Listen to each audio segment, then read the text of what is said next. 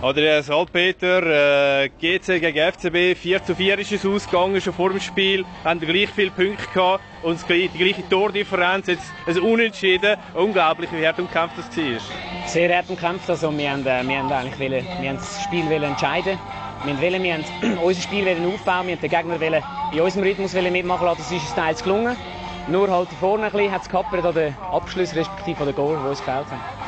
Du bist äh, länger verletzt gewesen. Jetzt, äh, heute hat man das Gefühl gehabt, man sieht nicht mehr davon. Du äh, bist viel zum Abschluss gekommen, äh, gute Schüsse gehabt, zwei Goal, äh, auch noch ein Eigengoal, das auf deine Kappe äh, geht, wo du vorbereitet hast, dann zwei Lattenschüsse. Also fühlst du dich wieder voll im Strumpf?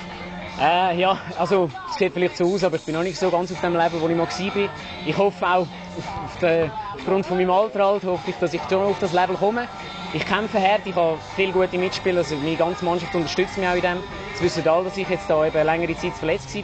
Sie unterstützen mich alle und äh, ich bin super froh, dass ich mit so Leuten zusammenarbeiten kann, wo, wo wir uns gegenseitig unterstützen und ich denke, das kommt gut. Das war das allererste Duell zwischen den beiden Traditionsclubs GC gegen FCB im Beachsoccer. Äh, hat man da davon etwas gespürt? Was war da speziell? Gewesen? Nein, also eigentlich äh, auf dem Platz ist natürlich geht's ab, geht's ab, aber neben dem Spiel hat man sich sind wir Kollegen, wir geben uns die Hand und so, also das eskaliert eigentlich nie und es ist nicht so traditionell, wie wir es vom Fußball auf dem Rasen kennt. Dann noch zum Abschluss ein Tipp äh, für das EM-Final morgen Italien gegen Spanien. Wer denkst du, gönnt? Ja, ganz klar. Also ich bin, werde natürlich beeinflusst durch meine Freundin, die Italien-Fan ist. Also ich denke 2-0 Italien.